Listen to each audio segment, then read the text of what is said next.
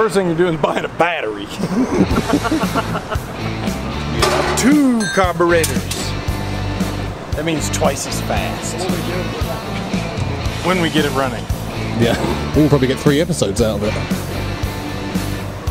Yeah. Probably more. One of me working on it, one of it running, and one of me quitting. Yeah. Oh, look at this bad mama jamma.